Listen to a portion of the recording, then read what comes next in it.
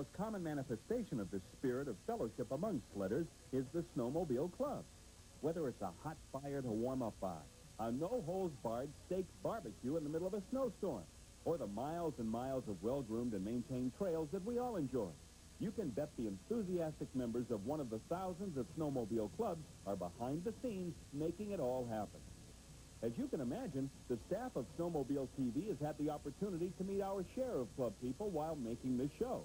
And we have to say that one club that stands out is the Northern Timber Cruisers of Millinocket, Maine. Located in spectacular northern Maine, the evergreen forests and snow-covered mountains featured on the club insignia are just part of the reason why sledders come here from all over.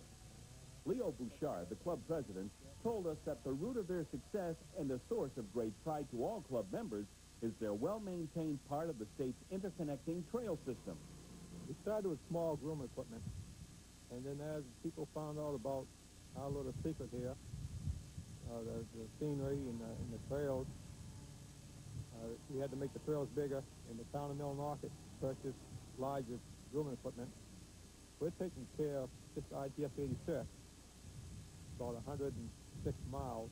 Then we have what we call club trails and we probably have about 40, 50 miles of club trails that we take care of uh, just regular long track snow sleds and smaller drags.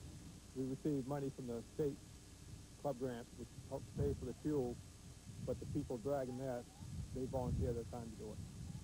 Like most club organizations, the work seems endless, and the many roles that need to be played in order to keep the club running are almost always undertaken by volunteers.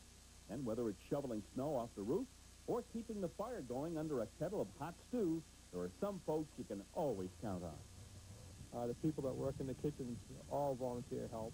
They're here eight, nine hours a day, Friday, Saturday, and Sunday. And it takes people like that because uh, you just can't afford to pay for what work that has to be done. And if you didn't have the volunteer help, you just couldn't do it. Another thing Leo is proud to point out is that the Northern Timber Cruisers has for years welcomed enthusiasts of other winter activities to use their trails and facilities. This puts them way out in front of the growing national trend toward the multiple use of trails by many different groups. We have not just snowmobiling, we have uh, cross-country ski trails here too. We have 61 miles of ski trails, is no charge for people to use. And we all work together as one group. It's a winter clubhouse for everybody.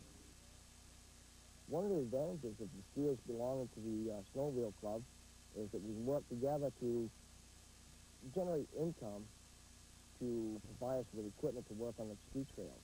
We use two different uh, Polaris wide track, uh, long track machines. 500s are really big and powerful, and we use them for breaking the trail, and we also use them for setting the track and grooming. We use a Tidd Tech Trail Tenderizer. It's a really nice piece of equipment.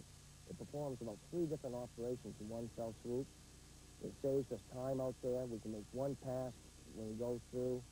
We basically set it up with as many machines as we can so we have like a squadron going out, a wing formation with a groomer on.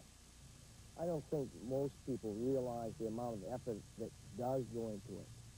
Uh, there's, like any other organization, there's a core of individuals that volunteer a lot of time. Some people just don't live out there because they love to be out in the woods and they work hard at it. And uh, the people do appreciate it, though. But I don't think they realize the amount of effort that goes into maintaining these trails. And there is yet another reason that sets the Northern Timber Cruisers out from the pack. They have their very own snowmobile museum, located about 10 snowmobile lengths from the clubhouse. As far as I know, this is the only museum within the United States, and it's one of four, and it is the only one located and owned at a clubhouse and by a club. Well, the museum dates back to uh, an interest back in the 60s of Polaris to uh, test machinery, their machinery in uh, the Allagash region of northern Maine. This club is a very active club through a lot of uh, uh, fundraisers and so forth, and we did a lot of fundraisers and things with antiques that we actually found that were used in those early 60s trips.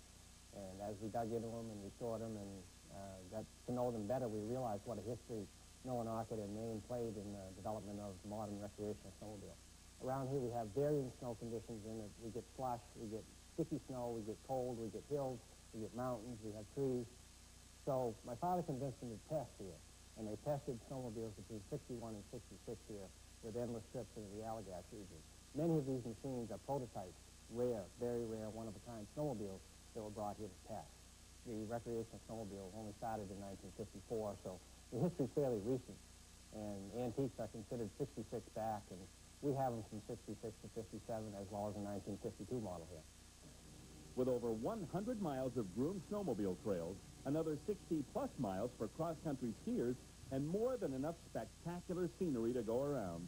What do you suppose a random sample of sledders had to say during our visit? Oh, I think it's a very nice clubhouse. I like the food. Good stew, good soup, good price.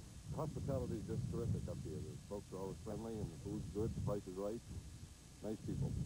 Perhaps Leo himself sums it up best when he says, It's a winter clubhouse for everybody, and everybody enjoys it, and everybody pitches in. We all work together.